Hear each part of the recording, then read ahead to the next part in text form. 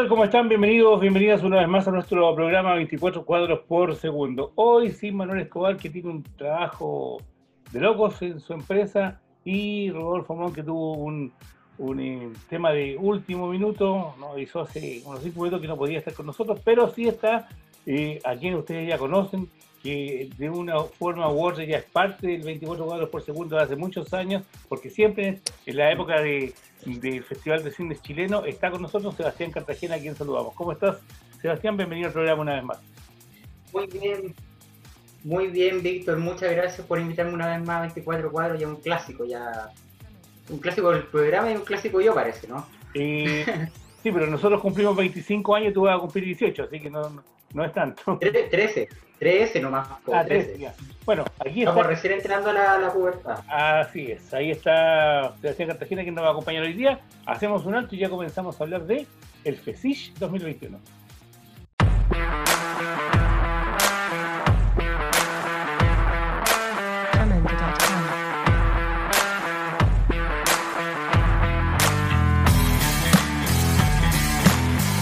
Bien, Entramos en materia, Sebastián, y hay una nueva versión del Festival de Cine Chileno del Marga Marga o de Marga Marga o de Quilpué. No sé.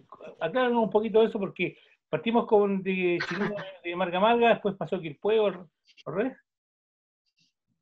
Sí, pues, en realidad partimos en Quilpué. Partimos el año 2008 en Quilpué y después el 2011 cuando recién, eh, cuando ya se inauguró lo que era la provincia Marga Marga acá eh, ahí decidimos extender el festival a todo lo que era la provincia y nos atrevimos a, a extenderlo a Villa Alemana, Limache y Olmué, pero evidentemente eso igual nos pasó la cuenta porque era un festival que no, no contaba con financiamiento y evidentemente logramos estar un tiempo solamente en las tres comunas y, luego nos, nos, concentramos básicamente a trabajar en Quilpue y Alemana sin dejar de lado Limache y Olmué, pero trabajando más como desde el punto de vista de la difusión, de las actividades que teníamos, eh, de extender la invitación a, a, las personas, pero evidentemente no, no estábamos en, las comunas. Eh, eso básicamente en cuanto a lo que es la historia de, de, lo que es el festival. Hoy día es Festival de Cine Chileno FESIC, ni siquiera tenemos el apellido de Quilpue, fíjate, ¿eh? ha sido como un, un, sentido de hacer un festival que se identifique con el Festival de Cine Chileno a nivel, a nivel nacional, pues es un poco la idea. Este año tienen las competencias, lógicamente la competencia oficial, la competencia de cortometrajes, tienen un homenaje a los 50 años de películas chilenas, no cine chileno, tienen la, la, la cosecha del año. Partamos por la competencia eh, oficial, digamos. Sí, eh, bueno, contarle a todas las personas que la competencia se llama Radiografía Nacional, es una competencia que busca reflejar lo mejor del cine chileno y también un poco lo que, cómo somos los chilenos, básicamente, nuestra idiosincrasia, los lugares, el territorio, las temáticas de alguna manera que nos, que nos remueven. Eh, y tuvimos una convocatoria bastante positiva, llegaron más de 250 películas eh, y seleccionamos este año 12 cortometrajes y 9 largometrajes. Ese fue la, el proceso de selección. Tenemos películas de todos los tipos, quizás no voy a ser preciso en nombrar los títulos porque eh, no quiero dejar alguna fuera y, y, puede verse como un tipo de favoritismo. Así que eh, toda la información de lo que es la competencia está en www.fsix.cl. Partimos este lunes 18 de, de, enero con la competencia y va a estar dividida durante dos semanas, básicamente. Hay una selección de corto y largo que van a estar la semana del 18 al 22 y luego se renueva del 23 al 28 también con más títulos acerca de esas dos, de esas dos categorías. Pero algo que quizás es súper importante, Víctor, contarle a, las personas que nos están viendo es que la competencia eh, tiene algo, algo en particular bien importante, que son películas que no se han mostrado y no se han estrenado todavía. Me, eh, básicamente, bueno, ahora estamos en lo digital, antes eran los cines, en los teatros. Eh, básicamente hoy día en las plataformas digitales, no se han estrenado todavía. Solamente han pasado por festivales.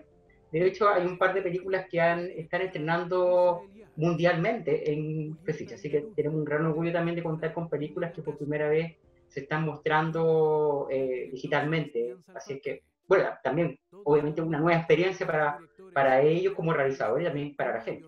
Sí, y ahí a, a, ese respecto, Sebastián, yo tengo una crítica, pero una crítica a los realizadores y a los productores, no a ustedes, por supuesto. Porque son películas que no se, no se conocen, bastante desconocidas Y fíjate que buscando los trailers de las películas para nosotros verla antes, para porque ninguna de esas películas la hemos visto, tenemos que ser sinceros. Y buscando los trailers para ver de qué se trataba, ir más o menos por eh, ambientando la pauta del programa, el equipo en realidad que íbamos a estar todos, eh, solamente tres películas, dos o tres películas tienen trailer. E información es muy poca. Entonces digo yo, si son películas que no se conocen, de autores o realizadores que no se conocen, actores prácticamente desconocidos, porque tenemos que decir también que son muchas óperas primas donde los realizadores, con ayuda de amigos, de los compañeros de la universidad, hacen la película y que no tengan un, un simple tráiler de un minuto o un teaser para que más o menos unos ambientes, yo creo que es una crítica hacia los realizadores que a lo mejor ustedes podrían canalizar a través de las charlas con ellos, porque no es en forma de, de, criticar por criticar, sino que es para ellos mismos. O sea, una, fíjate tú cualquier película eh, hollywoodense o de, países que tienen una eh, eh, cinematografía desarrollada, lo primero, antes de tener dos o tres escenas listas, un teaser. Entonces yo creo que por ahí parte esto de estábamos hablando. Sí, claro, evidentemente siempre ha sido así, ¿ah? incluso con, los afiches también hay algunos problemas muchas veces, pero, pero por ejemplo, nosotros los trailers nos hicieron llegar a nosotros, básicamente. Fue, a nosotros nos hicieron llegar estos estos trailers de manera interna y nosotros los, los, ahora los pudimos colocar dentro del sitio web de FESIX, así que la, gente ahora sí, la gente los va a poder ver a través del sitio web. Eh, están ahí los trailers, así que desde ya los, los van a poder ver. Eh, lamentablemente tú no alcanzaste a verlos, pero sí nosotros alcanzamos a subirlos. Así pero que, el, perdón, eh, perdón Sebastián, pero el tema no es por el, por el festival. Ellos van a, a festival internacional. Imagínate que una película... no, si los, deben tener, los tienen, pero los están funcionando de manera interna, no están publicados en YouTube, no están publicados, no están hechos, no están puestos públicamente, eso es lo que sucede. Entonces, yo me imagino que se obedece, digamos, esto, creo yo, sin justificarlo, por supuesto, pero me imagino yo que obedece también a un tema de distribución, porque tú sabes que primero las películas pasan por festivales y luego pasan por eh, las distribuidoras que de alguna manera empiezan a distribuir las películas a nivel internacional o, las posicionan en otros ámbitos. Pero yo creo que sucede eso, básicamente. ¿ah? O evidentemente películas que no tienen tráiler y, bueno, eh, eh, queda un poco al debe, como tú bien tú dices, porque al final es importante eso. Tanto para, para los públicos solamente. Otra cosa importante para la gente que, que lo sigue año a año es el tema de antiguamente, hasta el año antepasado, eh, uno iba a retirar la invitación y en la tarde hacía la fila y entraba al, teatro o al, al, iglú, que era espectacular ver cine ahí, lo recuerdo mucho. ¿Y eh, este año cómo se hace? Bien, eh, este año tenemos una modalidad nueva, obviamente debido a la pandemia. Tenemos, bueno, de hecho estamos saliendo ahora de una manera muy distinta. Eh, tenemos una plataforma a través de nuestro propio sitio web que se llama fesich.cl, del Festival de Cine Chileno, y ahí ustedes pueden entrar a ver todas las películas que van a estar disponibles semana a semana. La, la programación no está habilitada al tiro de, de un momento, o sea, de, de, un, de, una manera inmediata. Se va liberando a poco. Eh, se va entregando se va, claro, se va habilitando de a poco. Eh, tú puedes, de hecho, eh, tenemos, lo primero que tú vas a ver cuando entres al sitio web que dice películas destacadas, y de hecho, películas disponibles hoy, para que inmediatamente la gente sepa qué película puede ver inmediatamente. Y ahí eh, uno pasa el cursor sobre la, la, ficha de la película y te aparece la fecha en que está disponible la película. Te, te dicen, por ejemplo, desde el 18 al 22 o del 18 al 28. Y ahí tú tienes básicamente el rango en que tú puedes ver esa película.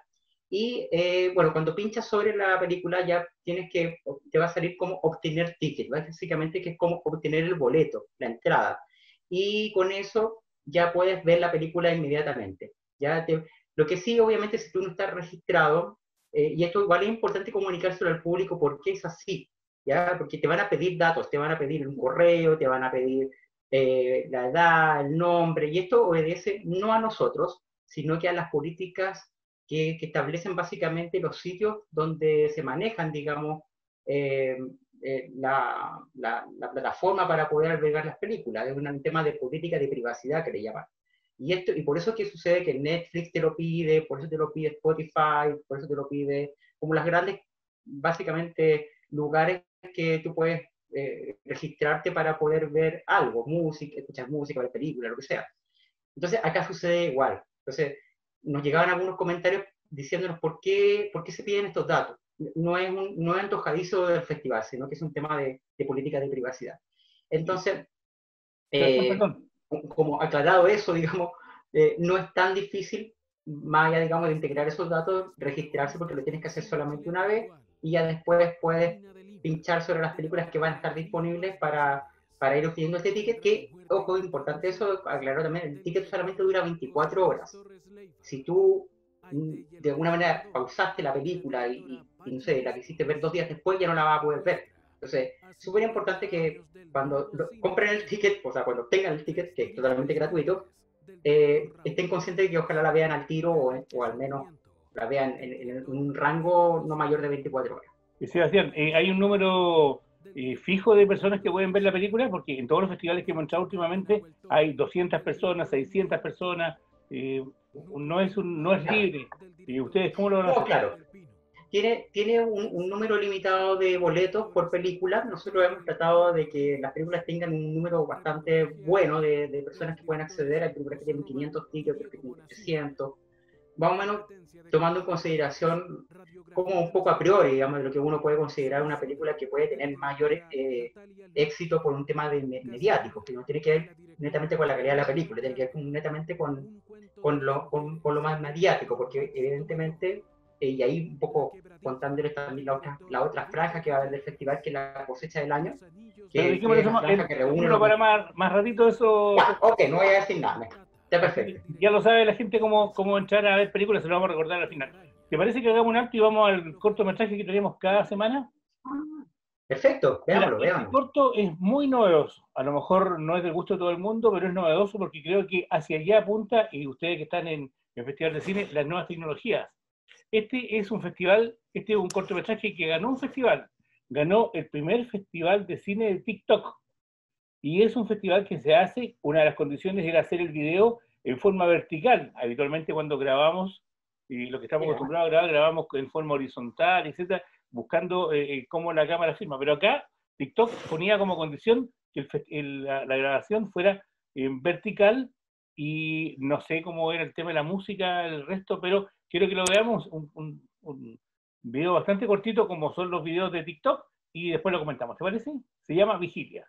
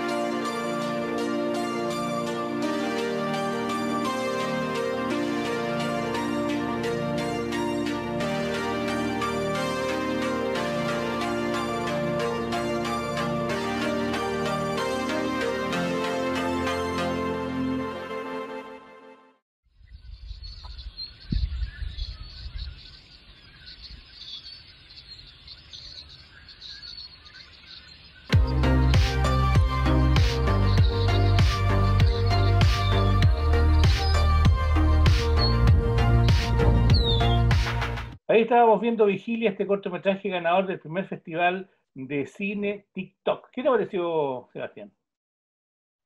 Oye, Víctor, bien interesante el formato, porque evidentemente, mira, yo hace no tanto rato vi que estaban haciendo incluso cine, empezaron a habilitar salas antes de la pandemia, estaban habilitando salas de forma vertical la pantalla.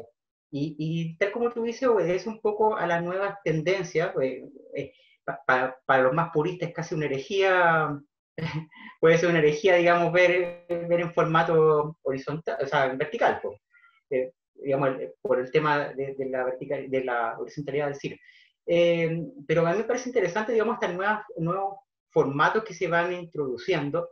Y, bueno, el corto está, está, bastante bien, digamos, hay una, una, cosa que creo que obedece un poco más, mm, yo te diría como al, tema más emocional ¿ah? de, la, de la obra, así como que no, no, sé si hay como tanto una historia, digamos, y como narrativamente como más clásica, pero sí hay como un tema bien interesante como desde el formato, desde lo que pretende, digamos, transmitir como a nivel emocional, y también el uso de la música, y en tan poco tiempo, además, que creo que igual es, como bien interesante eso. y, además que vamos descubriendo de a poco este personaje que aparece, que aparece al final, digamos, pero también me parece interesante. Mira, el, tema del guion no me queda del todo claro. Ya lo he visto unas tres veces, no me queda del todo claro. Pienso que algo onírico como un sueño se me ocurre, eh, o a lo mejor eso cuando tú te levantas en la mañana y empiezas a pensar lo que vas a hacer en el día y por ahí empiezas a divagar, podría ser. Creo que la edición está bastante buena. Si es que se hizo con la edición, a lo mejor se editó. Oye, ¿sí? Sí, ¿sabes qué te iba a decir? De que hace unos años atrás, eh, debe haber sido como el año 2014, más o menos, en el séptimo festival, tuvimos un cortometraje que de hecho fue el cortometraje ganador de ese año, que se llamaba El Sapo. Y, y ese cortometraje chileno, y, y, también está, estuvo filmado en, en formato vertical, tipo celular. Y mm, ese corto, de hecho, bueno, trataba acerca de los sapos de micro. Entonces, filmaron un sapo de micro, digamos, eh, y un poco contaban un poco la, la historia, un, documental. Eh, también cortito, haber durado unos 10 minutos más o menos. Eh, pero, pero te digo, ya viene la tendencia, digamos, a cerrado, digamos, con, con esta forma, de hacer cine. Mira, pienso que más de alguna persona que lo está viendo dice, pero ¿cómo se le ocurre hacer una película vertical? Pero yo lo voy a decir, a toda esa gente, cuando van a las multitiendas, a los supermercados, no ven ahora la oferta o los productos en forma vertical en los paneles, porque esto no, es, esto es tendencia ahora el festival, que se le ocurrió hacer un festival así, pero esto es una tendencia que viene hace más o menos 10 años, como tú mismo lo dices, porque en los supermercados, en las tiendas empezaron a poner los televisores verticales como una novedad. Y ahora se ya películas así. Bueno, ese era el corto de esta semana, se llama Vigilia, y era algo para que ustedes vayan viendo cómo va la tendencia del cine, las nuevas tecnologías están trabajando en esto, creo que la cámara del teléfono era espectacular en todo caso, eso es lo, lo que sí, no, increíble. Rescato como 100% o 200% y una historia nueva.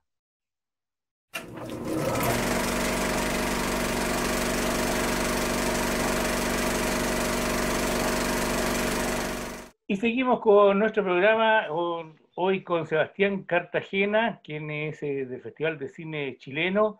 Es, eh, y yo creo que uno, de los motores del Festival de Cine Chileno, porque tú eres el que va a promocionar, y conversas con los productores, conversas con los rezadores, buscas temas, eh, promocionas y trabajas todo el año en el festival. O sea que parte muy, muy importante del festival, tú como, como Alexis, por ejemplo, Alexis Sánchez, que, que es el director.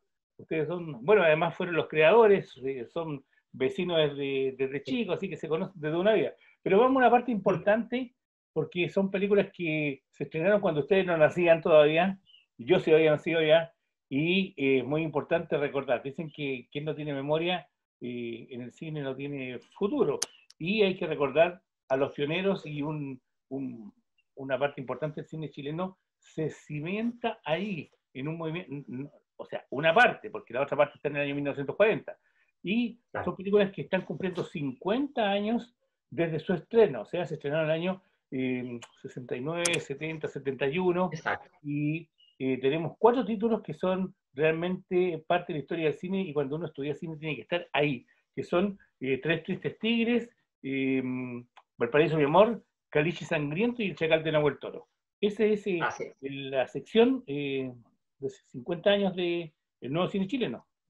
Sí, y hay que sumar eh, tres cortometrajes más que quisimos agregar, eh, Víctor, porque evidentemente estos responden a, a Miguel Litín, responden a, Aldo Francia, eh, a, ay, se me fue la, otra película, bueno, Raúl Ruiz, y teníamos, claro, Elvio Soto, Elvio Soto. Ahí están los cuatro realizadores más o menos emblemáticos de ese periodo del nuevo cine tal como tú dices, pero quisimos sumar tres cortometrajes más, además con, otros personajes de, increíbles. Pedro Cháquez, con Venceremos, y Héctor Río, ahí director de fotografía de esa época, y también el reportaje a Lota con Pepe Román, que fue guionista de la mayoría de las películas de ese periodo, de hecho también fue co-guionista de, de Valparaíso Mi Amor, Pepe Román, y, eh, y, y Mapu, Mapu, que es un corto que no, no, es, que no es tan conocido, eh, pertenece a Carlos Flores del Pino, a quien estamos homenajeando en este festival, que también, además de, de pertenecer a este movimiento del nuevo cine chileno, Víctor, eh, fue fundador de la Escuela de Cine de Chile, que fue la primera escuela de cine que se funda después de dictadura y que además eh, es muy importante porque de alguna manera va, va a renacer, digamos, con una nueva camada de cineastas que son finalmente los cineastas que hoy día tenemos, Sebastián Lelio, Alicia Cherso, bueno, los grandes cineastas que más o menos hoy día tenemos hoy día en y no, hay, y no hay que dejar fuera que Carlos Flores fue quien eh, filmó Descomedido y Chascones, que causó revuelo en su época, y que además fue el director de El Charles Bronson chileno, una película El Charles Bronson chileno. De, nuestro cine. Y Carlos Flores, recuerdo que, cuando eh, funda la Escuela de Cine de Chile, eh, a los pocos, digamos, a los pocos meses estuvo en el programa comentando de qué se trataba. Oye, recuerdo que tenía un bloque como de 15 minutos, pero estar entretenido estar con Carlos Flores, que estuvimos como una hora y más. Pero él buenísimo. Yo creo que eso es muy agradable, además. buen aporte. Bueno, estos 50 años, creo que a mí, a mí personalmente me falta un título, Sebastián. A ver, ¿cuál es? Palomita Blanca, año 71, de Raúl Ruiz. Palomita Blanca. Ah, pero es que Palomita Blanca es el 73, pero después se renueva el, el 90, claro. porque claro, pero lo que pasa de alguna es que, manera como que lo dejamos fuera por eso. 71, y después se iba a estrenar el 73 y después salió el 91. Ah, usted la... Exacto. Ya. Exacto, sí. Y después una restauración eh, hace poco, hace como, hace como dos años atrás. Pero claro, no, Palomita Blanca, no sé si pertenece tanto al nuevo cine chileno. ¿ah? Podría ser, ¿ah? podría haber sido. Lo que pasa es que ese periodo es como bien, bien interesante de analizar. De hecho, con Carlos Freire lo conversamos, de que en realidad como que, ¿a qué le llamamos nuevo cine chileno? Yo creo que los, los periodos, de alguna manera, los periodistas, los críticos de cine, lo han formalizado de pronto. Yo creo que ellos nunca lo llamaron así. Ellos estaban haciendo un nuevo tipo de cine basado en el neorealismo italiano, que venía de filmar un poco con, en la calle, con exteriores, eh, un poco tomar los temas sociales. Eh, y yo creo que de alguna manera de, ahí se relata, digamos, ese periodo de, nuevo cine chileno, y por eso también pero recuerda son, son, esos cuatro cortos, más o menos. Por supuesto que pueden, pueden abarcar más. No sé si tú lo sabías esto, pero eh, alguna vez, bueno, muchas veces nos podíamos, nos poníamos a conversar con, con Aguayo, tú tienes que haberlo conocido, tiene el, el, prácticamente el, propietario del Cine Arte de Viña, y nos contaba la historia cuando se junta eh, Aldo Francia, eh, Casteleto, Natalio Pelerano y otra gente más, eh, Luchita Ferrari, se juntan para hacer el Festival de Cine eh, Latinoamericano en Viña, se habló de un nuevo cine, porque había un movimiento que nacía en Brasil. Entonces, para diferenciar un poco lo que era el nuevo cine latinoamericano, llamemos todo el resto de, América, allí algunos, de ellos eh, dijeron, eh, hagamos una franja, nuevo cine chileno. Ahí se empieza a acuñar este nombre, según lo que... De hecho, que si mal, no me recuerdo, creo que el festival de se llamaba Festival del Nuevo Cine Latinoamericano, creo que así se llamaba. Mm. Por eso ahí, me contaba que eh. para hacer una diferencia, a lo mejor de franja, no sé, no, tengo claro esa parte, pero me contó que ahí se empieza a acuñar el término nuevo cine chileno. Exactamente. Sí. Yo creo que, yo creo que tal como tú dices, o sea, incluso, por ejemplo, eh, hay personas que también consideran que Largo Viaje, que es un poquito antes, ¿no es cierto?, de, de 67, claro, también pertenece a este movimiento. Entonces, como que, claro, nunca, nunca queda tan exacto todo, pero bueno, quizás lo importante, eh, Víctor, digamos, de estas franjas que estamos conmemorando los 50 años, es primeramente poner en valor estas películas, volver a ponerlas en valor. Son películas que creo que están muy en el inconsciente de la gente. Y también quería comentarte, Víctor, que vamos a tener, eh, bueno, este domingo 18 y el lunes, perdón, domingo 17 y el lunes 18 vamos a tener hoy día, diálogos. Hoy día.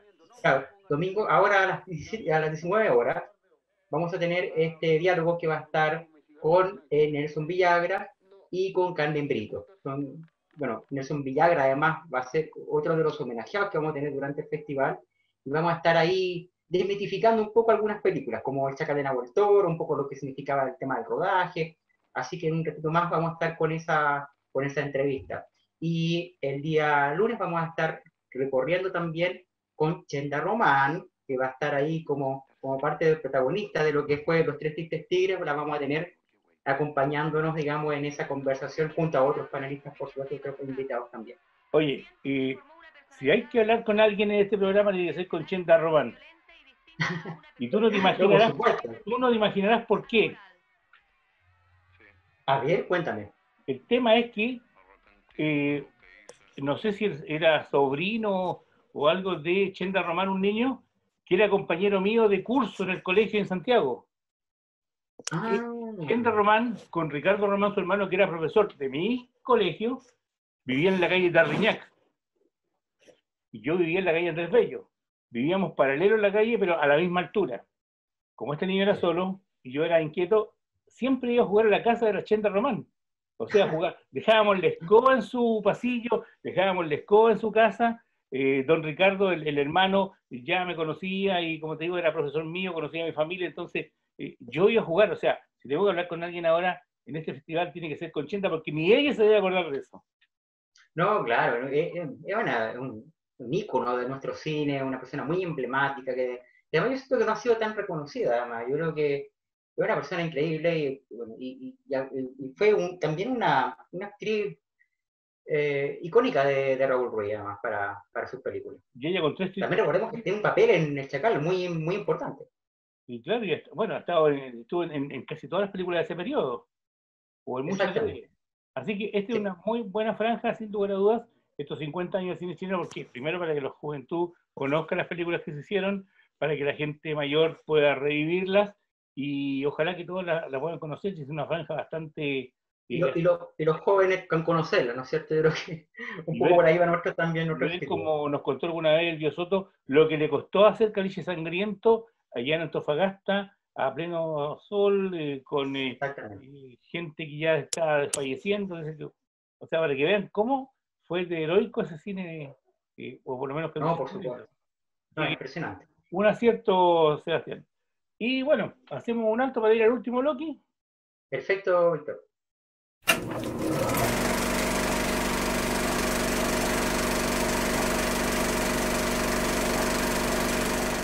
Y llegamos al tema y al bloque que la gente que está asiduo con el Festival de Cine Chileno siempre espera. ¿Te has dado cuenta como que esta cosecha del año, que son las películas que se han nombrado más durante el año y que se han, eh, se han renombrado, que van a festivales, Imagínate ver una película que podría estar en, eh, postulando un Oscar como mejor película de inglesa, como es El Agente Topo, este, va a estar en el festival en la cosecha del año de Michael Verdi, y Michael Verdi que año que está en el FESIS presenta su trabajo y después le da muy bien, ya estuvo con eh, los ni la ONCE y después con los niños y ahora con Agente Topo.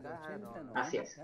Sí, bueno, la cosecha del año, como bien tú dices, como nuestra, nuestra franja, digamos, la, franja como predilecta del público, porque evidentemente son los títulos más mediáticos del año, que tuvimos La Mujer Fantástica, ni te cuento lo, terrible que fue para el teatro, porque estaba recién inaugurado, tuvimos que dejar a mucha gente fuera, en fin, pero, pero de alguna manera todos los años, de alguna manera siempre hay un, hit, digamos. El, año pasado fue el la estuvo también... Eh, eh, Araña también como parte de las películas más, más vistas. Y bueno, y este año, tal como tú lo mencionas, tenemos El Agente Topo, que es la película, como yo creo, creo que la película que todo el mundo quiere ver este año. Eh, y esa se estrena desde el día 23 de enero, desde las 18 horas va a estar habilitada ya en nuestro sitio web. Y además de eso, vamos a tener eh, bueno, otra película que me parece como relevante quizá, hablando justamente de, yéndose para atrás en el, tiempo, es el, el Tango del Viudo y su espejo deformante, esta película que recupera Valeria Sarmiento, eh, esposa de Raúl Ruiz, eh, del material que tenía Raúl, y ella la termina, básicamente, termina de editarla, montarla, en fin. y tenemos esta película que también tuvo harto revuelo. Y por otro lado tenemos algunas otras películas como Los Fuertes, por ejemplo, que una película que tuvo muy mala suerte porque se estrenaba en marzo en sala de cine. imagínate, justo le tocó el tema de la, del cierre de todos los, de todos los espacios culturales. Eh, una película que aborda el tema de la diversidad sexual, así que a, partir de, dos, de la pareja de dos hombres, eh, pero con una historia íntima, muy bien relatada, muy bien construida, con una fotografía increíble así que también muy recomendable de, ver. Y bueno, hay, otras películas también que, podemos, que pueden ir revisando, ¿no es cierto?, dentro de lo que es el, digamos, la plataforma que va a estar habilitada también desde la primera semana. Bueno, eh, yo creo que han quedado bastante ilustrados sobre lo que va a ser esta nueva versión del Festival de Cine Chileno, FESICH. Ingresen a la página fesich.cl, vean las películas que quieren ver, regístrense, eh, tomen el ticket, véanla inmediatamente, ojalá cuando eh, se registren para que no vayan a quedar sin verla. les recomiendo de partida a la gente topo que se van a reír, van a gozar con la película, van a, van a pensar y la gente mayor se va a identificar mucho con la gente topo, porque yo cuando veía, por ejemplo, algo, me acordaba de mi mamá cuando no le puede apuntar al teléfono. O sea, hay que ver a la gente topo, que es una película que va a dar más de una sorpresa este año. Y si ya en Estados Unidos Hollywood Reporter, por ejemplo, habló de una película encantadora, por algo será, ¿cierto? Sí, viste, sabes que quería, quería, no recordaba, no, estaba acordando en este momento del otro título, que hay una película también que, que aborda el tema de la vejez, que, que claro, ¿no? quizás no lo aborda de la manera que, que la gente topo, una película que viene de, de, universidad, de la Universidad del Desarrollo, que también ellos habían hecho otras películas antes, como Volantín Cortado, una película que les fue muy bien. Eh, y esta película se llama eh, Las Mujeres de mi Casa, una película con, eh, protagonizada por Grimanesa Jiménez. Lo, comentamos, me acuerdo que anteriormente, una, una ícono de, la televisión, que estuvo en Los Venegas, la de la gente la conocía por Los Venegas. y bueno, Grimanesa, creo que es un otra ícono de, nuestro, de nuestra televisión, nuestro cine y teatro. Y, la mujer en mi casa, de alguna manera, busca, trata el tema de la vejez, pero de manera más intergeneracional, a través de la perspectiva de tres mujeres de diferente edad. Así que también recomendadísima también para que la gente la pueda ver. Bueno, ahí están las recomendaciones para que vean este festival, no se lo pierdan, un gran esfuerzo que hace el, el organizador del Festival de Cine Chileno y ahora online. Sebastián, muchas gracias por haber estado con nosotros una vez más. Un saludo a toda la gente que hace el festival, a Pilar que nos manda toda la información, a ti, por supuesto, que estás todo el año, bueno, Pilar también está todo el año con nosotros, y a toda la gente del Festival de Cine Chileno, que les vaya muy bien en esta nueva versión, y nos vamos a estar encontrando, no sé si por el WhatsApp, por, por acá, en la semana, para el próximo programa. Así que muchas gracias por estar con nosotros. Muy bien, gracias Víctor, nuevamente. Que esté muy bien.